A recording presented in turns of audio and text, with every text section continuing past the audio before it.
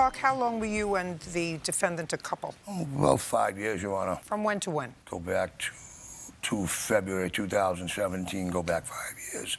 So 2012, So you broke up in February of 2017. yes, And did you live together during any period of that time? all the time. It is your claim that after you broke up, the defendant used your account and bought two iPhones. Yes, Your Honor. What date did you break up, Ms. Hayes? February 22nd. Can I see on what date the iPhones were purchased? March of 2017. May I see it, please? Your Honor, these are all copies, so they all reflect April of 2018. So I don't really have the actual purchase date, just what I was gathering my information. No, just make a circle on the date she purchased the iPhones. Right here, Your Honor. The date that she purchased. And what does that circle say? March 3rd to April 2nd, 2018. Doesn't help me. This is your responsibility, Mr. Clark. It's your case. We're not talking about something that happened a decade ago. You're suing her for the iPhones that you say were purchased after you broke up when she had no authorization to purchase them. Yes, I have For that. that, I need proof of the date they were purchased. I, uh, I do have it, April of 2018. It wasn't April of 2018. You said it was April of 2017. Oh, I'm sorry. Yes, Your Honor. I am sorry. Hang on one second. Oh, boy. Okay, we're going to recall this case when he gets all the information together. Can I Thank do you my very much. countersuit? We're done. Mr. Clark, let's start from where we left off. You were going to show me proof as to the date that Miss Hayes purchased phones after the two of you broke up. I have that, Your Honor. I'd like to see it. The 4295 and the 444 shows they were added uh, on that billing cycle.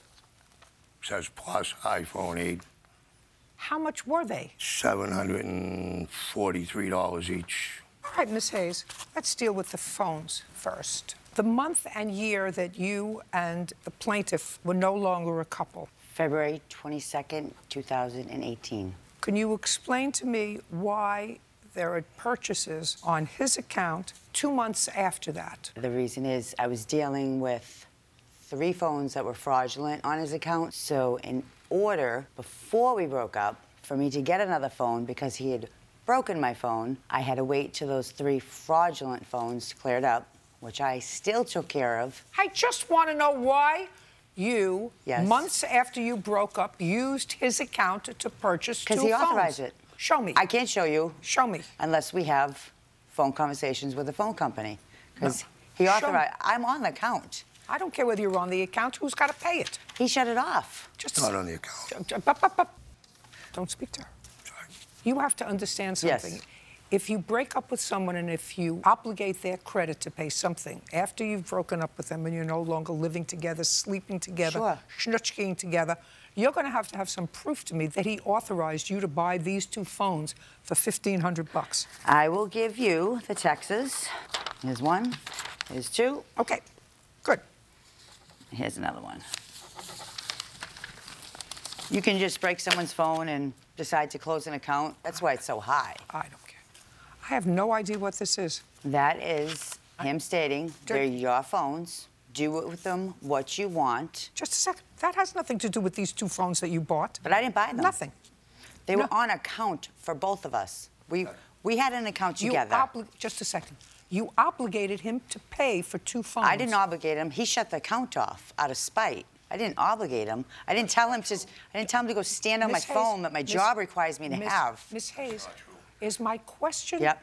My question to you is: After the two of you broke up, did you order a new phone? Did I order Did, a phone? did you order a- or receive a new? I, may- I will answer your question. did yes, you I did receive one. Yes, I did. Did Yes. you pay for it?